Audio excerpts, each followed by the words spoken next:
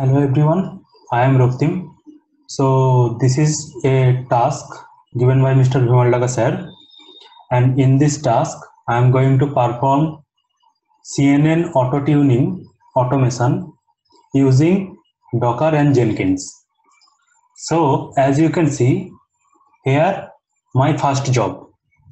So as I run this job what it is gonna do here I have my Git repository and here I have my CNN code and it's gonna fetch that code from GitHub. So it's completed. Now this job 2 is running. So what job 2 is doing mainly? This job 2 will take around one hour, two hour, I don't know. Cause it's building the model and model building in CNN really takes time so now if I go inside and if I show you the console output, you can see one interesting thing here. Here you can see is using TensorFlow backend. And now in my code, there is a tweak that I used random function. So now what will happen whenever this Docker engine start, it will automatically pick up this kind of architecture. Each and every time the architecture will automatically get changed. This time you see you are seeing this architecture. Next time you will see another architecture. And it's keep on checking that which architecture is working good. Now let's go to job 3 what job 3 is doing?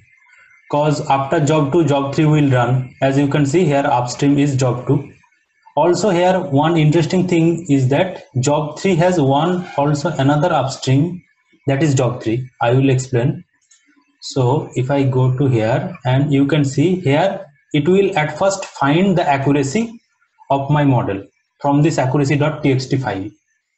For job 2 what accuracy is giving? And if it's find that the accuracy is more than 80% or 90% then it will go to job 4 but if somehow the accuracy is less than 80% or 90% then it will start again building the CNN deploy code. It will again start training the code with another architecture. Now after job 3 completes here I have job 4 so here what will happen? Job 4 will again check that accuracy is more than 80% or 90% or not. And if it's more than then it gonna here you can see that email notification is configured. So it will send the developer a notification that your model has been trained and your model reached over 80% accuracy. Now here i have one another job that is job 5 so what job 5 is doing as soon as my job 2 will complete it will start to check. If i go here configure file you will see after that it will keeps on checking each and every minute that my cnn deploy docker container is working fine or not. If somehow my docker stops then it will start the docker container. Now I can't show you the whole process here because job 2 will take nearly I don't know how much time. Then job 3 will again do the model building each and uh, one model build. Then if the accuracy doesn't satisfy then it will again start building. So it's a very long process and I don't have that much resources in my laptop.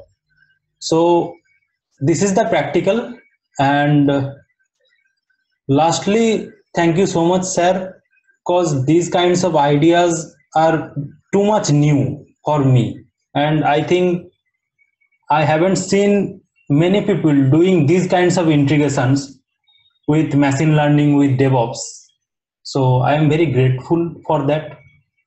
And thank you everybody. Thank you